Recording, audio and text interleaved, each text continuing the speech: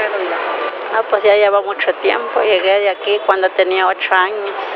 Ahorita tengo 43, ¿qué? 35 años llevo aquí. Las manos mexicanas demuestran una creatividad exuberante al momento de crear objetos que nos representan por el mundo entero.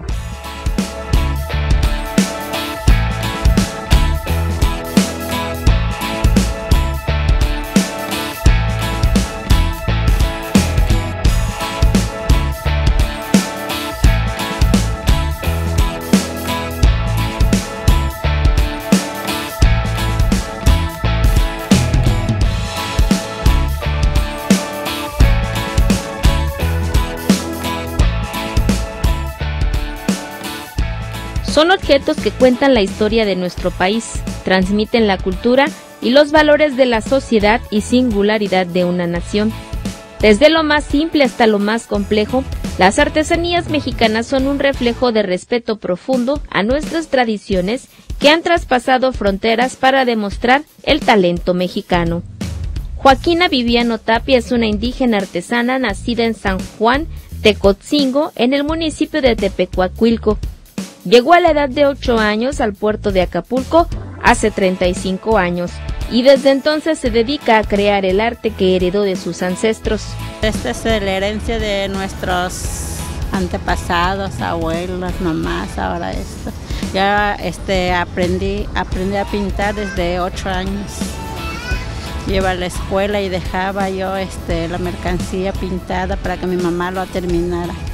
En su pueblo natal se elabora la parte de la materia prima que Joaquina junto a su familia y el resto de los indígenas de la Plaza Politécnica convierten en verdaderas obras de arte como las ollas, platos y jarras de barro.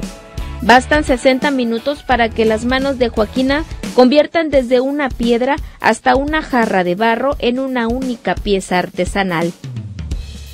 Sus productos tienen un costo que va de los 30 hasta los 300 pesos según el tamaño, pero a menudo los artesanos indígenas se enfrentan el llamado regateo de sus piezas, que en ocasiones se devalúan hasta en un 30% de su valor.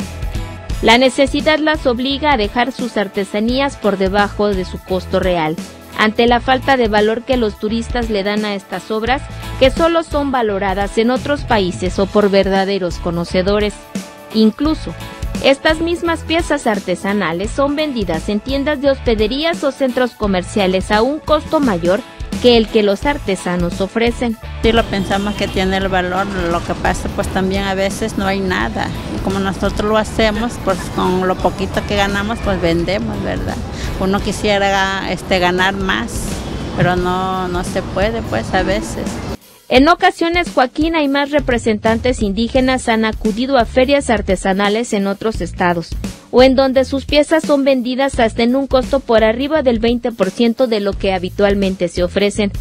Sin embargo, la falta de apoyo de autoridades para impulsar estas ferias o la participación de los indígenas en ellas lo sigue limitando a solo ofrecer su producto de manera local y ello no hace que Joaquina y sus similares pierdan el deseo de seguir creando con sus manos indígenas la calidad mexicana.